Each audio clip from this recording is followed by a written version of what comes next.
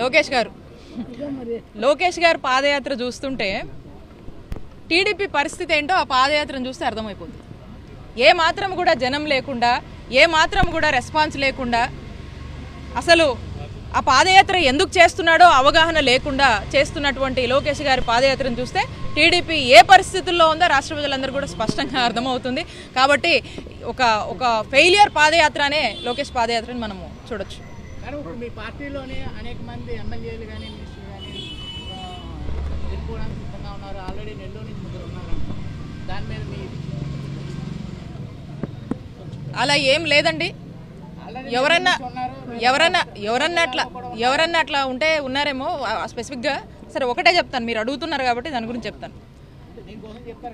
Already ఒక decision తీసుకొని pre occupied మైండ్తో ఉన్నప్పుడు వాళ్ళకి ఏదో ఒక బ్లేమ్ చేయాలి.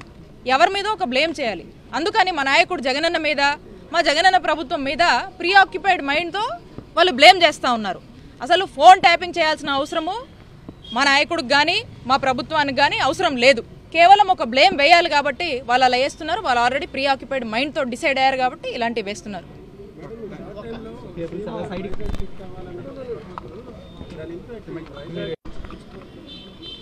ముఖ్యమంత్రి గారు మొన్న అందరూ కూడా విన్నారు గతంలో కానీ వైజాగ్ని ఎగ్జిక్యూటివ్ క్యాపిటల్ చేయాలనేది ముఖ్యమంత్రి గారి ఆకాంక్ష.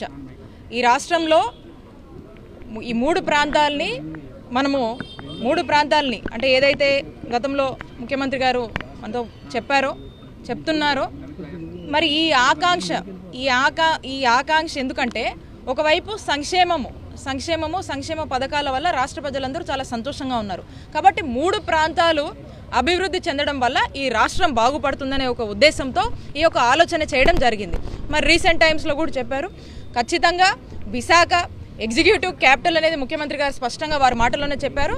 రానున్న కాలంలో విశాఖ ఎగ్జిక్యూటివ్ క్యాపిటల్ ఖచ్చితంగా కాబోతుంది. దానికి పెద్ద ఎత్తున కూడా ఇక్కడ ఉన్నటువంటి ప్రజలు మద్దతు ఉంది. మరి ముఖ్యమంత్రి గారు ఎప్పుడు ఎప్పుడు ఎప్పుడు వస్తారు ఏంటి అనే దాని మీద కూడా రాష్ట్ర ప్రజలందరికీ మీ అందరికీ కూడా తెలుసు. ఖచ్చితంగా వచ్చేది వచ్చేదే. చూస్తారు మీరే. కాబట్టి ఈ ఎగ్జిక్యూటివ్ క్యాపిటల్ అవడం వల్ల ఇక్కడ చాలా పెద్ద ఎత్తున ఇప్పటికే కూడా డెవలప్మెంట్ చోటు చేసుకున్నటువంటి పరిస్థితులు మనం చూస్తూ ఉన్నాము. అన్ని విధాలుగా అన్ని విధాలుగా కూడా ఈరోజు Visakha it's a most happening place destination Andhra అంటున్నాము అడ్వాంటేజ్ ఆంధ్రప్రదేశ్ విశాఖపట్నం అంటున్నాము. కాబట్టి అన్ని విధాలుగా కూడా ఐటీ పరంగా తీసుకున్న ఈరోజు విద్యాపరంగా తీసుకున్నా వైద్యం పరంగా తీసుకున్నా అలాగే ఇండస్ట్రీస్ పరంగా తీసుకున్నా.